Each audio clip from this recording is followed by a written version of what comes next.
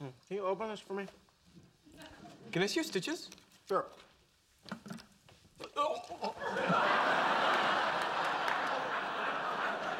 Answering the question once and for all why Wolowitz bailed out of medical school.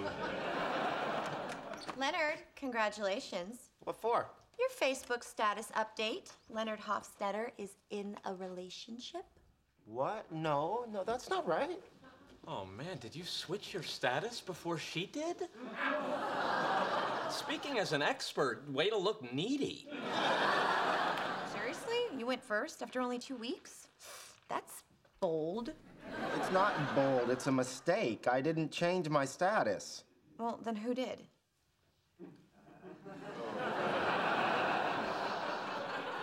I had no choice. He cried in front of her.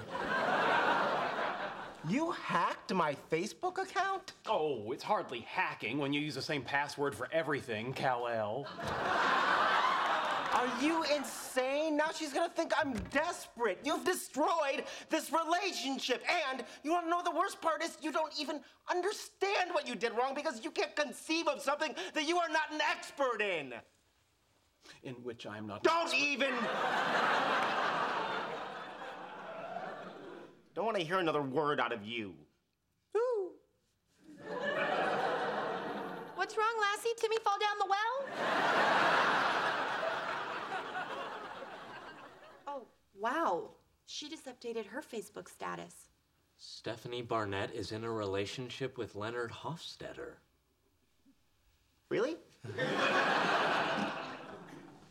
oh, look at that. I have a girlfriend. If I'm permitted to speak again, Dr. Sheldon Cooper, for the win.